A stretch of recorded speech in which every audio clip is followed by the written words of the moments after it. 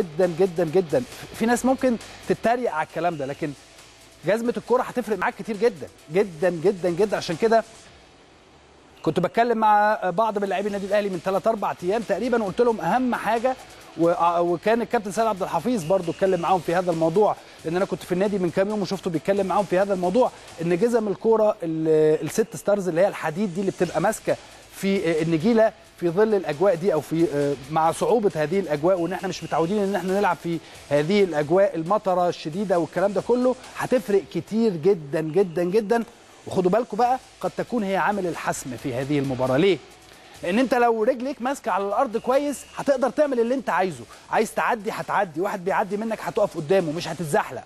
لو لعبت النادي الأهلي النهارده وده اللي أنا عارفه إن هم مجهزين نفسهم تماما خلال هذه المباراة مجهزين نفسهم هتفرق كتير جدا جدا جدا وجود جزم الكورة اللي هي الحديد اللي هي بتبقى ماسكة في النجيلة بشكل مميز لأنها زي ما أنتم عارفين طبعا جزم الكره دي هي سلاح لاعب كرة القدم. نتمنى يا رب إن شاء الله إن إحنا النهارده نشوف قمة تليق باسم الفريقين الكبيرين سواء النادي الأهلي أو نادي الزمالك. ونتمنى إن شاء الله إن هذه القمة تقام في تمام الساعة السابعة. اللي أنا بقول لحضراتكم بنسبة كبيرة جدا حتى الآن وتطمينات من الناس اللي موجودة في برج العرب بيقولوا لنا لا إن شاء الله المباراة هتتلعب في تمام الساعة السابعة. نشيل بقى من دماغنا إن المباراة مش هتتلعب.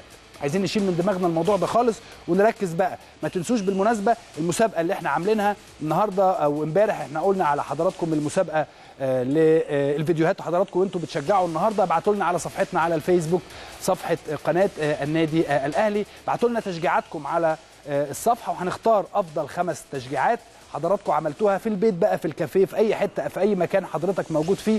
ابعتوا لنا الفيديوهات دي وإحنا هنختار خمس فيديوهات ندي لهم لكل فيديو. هندي تذكرتين للمباراة القادمة للنادي الأهلي في دور الثمانيه في البطولة الأفريقية. النادي الأهلي ضد نادي سان داونز مهم جدا إن إحنا نعرف إن المباراة دي مباراة صعبة ومباراة مهمة وأنا آسف إن أنا بكرر هذا الكلام ولكن هي دي الحقيقة. لازم أقولها لحضراتكم لحضراتكم كل شوية.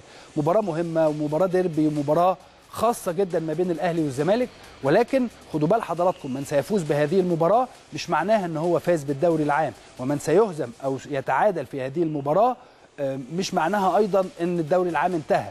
لا لسه في 11 مباراة ب 33 نقطة. أعتقد هيكون لهم دور كبير جدا جدا في تحديد من هو بطل الدوري العام هذا. الموسم كلها فرق صعبة وكلها فرق كلها مباريات صعبة خلال الفترة اللي جاية. نتمنى إن شاء الله إن النادي الأهلي يستطيع أن يفوز في مباراة. الكل الحقيقة متفائل الكل ينتظر أداء فني جيد من النادي الأهلي. الكل ينتظر أداء جيد من الفريقين الحقيقة وإن إحنا نشوف مباراة الكل بينتظر العالم العربي بالكامل ينتظر هذه العالم العربي طبعا وهنا في مصر الكل ينتظر من سيفوز في هذه المباراة والكل ينتظر المستوى الفني اللي هيظهر به سواء النادي الأهلي أو نادي الزمالك في هذه